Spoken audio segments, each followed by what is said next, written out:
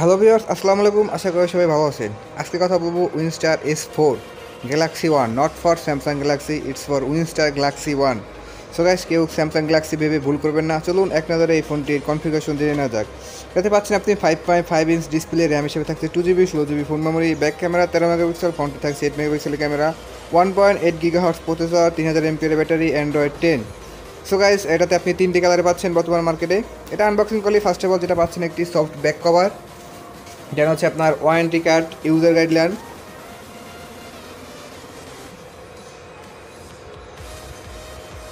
then হচ্ছে একটি USB charging cable দেন হচ্ছে হেডফোন আর চার্জিং অ্যাডাপ্টার এটা হচ্ছে আপনি বক্স কন্টেন্ট বক্স আনবক্সিং করলে এগুলো পেয়ে যাবেন।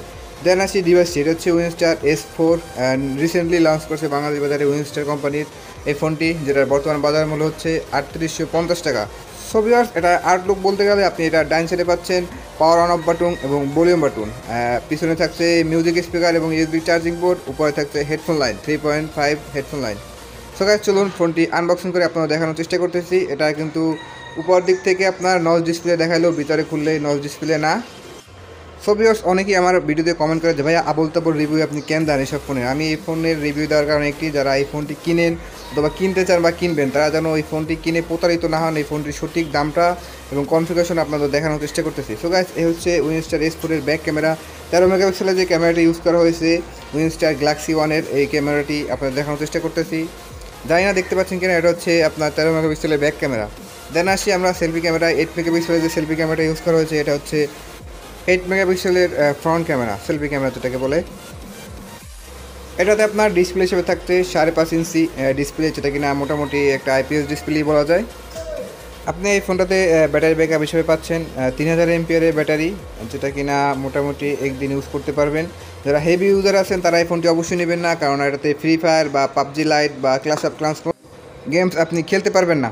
সো গাইস এটার অ্যাবাউটে ঢুকলে আপনি বক্সে কন্টেন্ট যেগুলো লেখা আছে, আপনি অ্যাবাউটের ভিতরেও ঠিক ওইটাই পাবেন। টু জিবি র্যাম আছে, ষোলো GB one point eight gigahertz processor সবচেয়ে আকর্ষণীয় বিষয় হচ্ছে আপনার এটার অ্যান্ড্রয়েড ভার্সনটা টেন আপনার উইনস্টার মতো একটা কোম্পানির চায়না ফোন কিন্তু অ্যান্ড্রয়েড ভার্সন টেন দিছে। ব্যাক ক্যামেরা তেরো মেগাপিক্সেল এই দুইটা জিনিস এই ফোনটা ভালো আছে, মাত্র আটত্রিশশো পঞ্চাশ টাকায় সো ভিউয়ার্স যারা হেভি ইউজার আছেন, অবশ্যই এরকম নেবেন না। যারা লাইট ভার্সন ইউজ করতে চান ফেসবুক লাইট মেসেঞ্জার লাইট তারা এই ফোনটি দেখতে পারেন।